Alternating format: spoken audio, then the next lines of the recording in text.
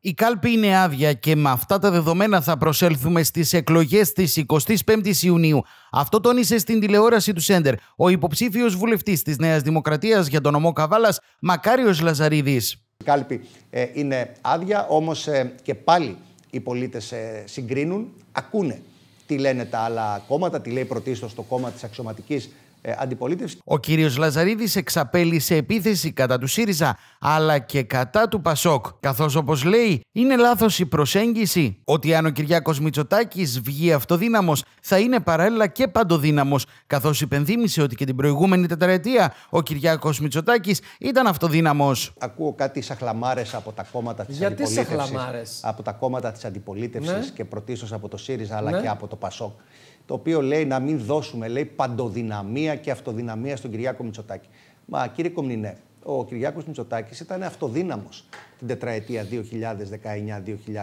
2019-2023, άρα δεν καταλαβαίνω την πολιτική στρατηγική το να μην είναι ξανά αυτοδύναμος. Και στο τέλος αυτό θα το αποφασίσουν οι Έλληνες πολίτες, δεν θα το αποφασίσει ούτε ο κύριος Τσίπρας, ούτε ο κύριος Ανδρουλάκης, ο οποίος κύριος Ανδρουλάκης πί- πίστευε ότι θα είναι κάτω από το 10%. Ε, είναι οριακά εκεί γύρω στο, στο 11%. Μιλούσε για ένα ισχυρό διψήφιο, το οποίο όπως αντιλαμβάνεστε δεν είναι ισχυρό διψήφιο το 11% και νομίζει ότι ξαφνικά το Πασόκ μεγάλωσε και αύριο το πρωί θα γίνει κυβέρνηση.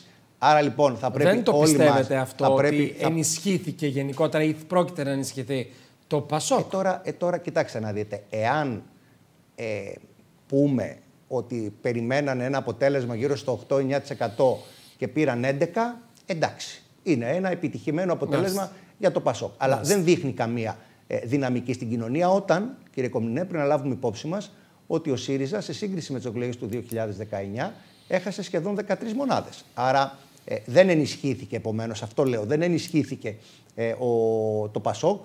Υπήρξε ένα κομμάτι ε, ανθρώπων οι οποίοι προέρχονται από την κεντροαριστερά. Έχω και εγώ προσωπικά παραδείγματα, οι οποίοι ψήφισαν ε, τη Νέα Δημοκρατία και ψήφισαν τον Κυριάκο Μητσοτάκη ακριβώς γιατί υλοποιούσε αυτά τα οποία υποσχότανε και στήριξε την κοινωνία, στήριξε την οικονομία κατά τη διάρκεια ε, πολλών δύσκολων κρίσεων και ειδικά της πανδημίας και της ενεργειακής κρίσης. Και θυμάστε, είχαμε πει κατ' επανάληψη και σας είχα πει ε, εδώ, είχα κάνει κάποιες προβλέψεις ότι ο ΣΥΡΙΖΑ δεν μπορεί ε, να κερδίσει εκλογές, διότι πρώτον ο ελληνικός λαός είχε μάθει και είχε γνωρίσει τη διακυβέρνηση του Τσίπρα και το δεύτερο ότι ασκούσε μια αξιωματική αντιπολίτευση τοξική. Μια αξιωματική αντιπολίτευση που δεν είχε σχέδιο, δεν είχε όραμα, δεν είχε στρατηγική. Και το λέω αυτό γιατί δεν μπορείς να πολιτεύεσαι τέσσερα ολόκληρα χρόνια κατηγορώντας για οτιδήποτε συνέβαινε στον κόσμο. Γιατί εδώ είχαμε εξωγενείς κρίσεις οι οποίες ήρθαν στη χώρα μας. Θα θυμάστε, μιλούσαν για πανδημία Μητσοτάκη, για οικονομική κρίση Μητσοτάκη, για πληθωρισμό Μητσοτάκη, για πόλεμο Μητσοτάκη, για ενεργειακή κρίση Μητσοτάκη. Ε, δεν ήταν όλα αυτά Μητσοτάκη. Ναι, κάναμε λάθη, κάναμε. Το έχουμε συζητήσει και άλλη φορά. Είχαμε παραλήψεις, υπήρξαν καθυστερήσεις. Τα είχαμε όλα αυτά. Όμως, στη μεγάλη εικόνα, όπως θυμάστε, σας είχα πει, ότι οι Έλληνες πολίτες είμαι πεπισμένος ότι θα προτιμήσουν μια κυβέρνηση ε, με λάθη παρά μια λάθος κυβέρνηση.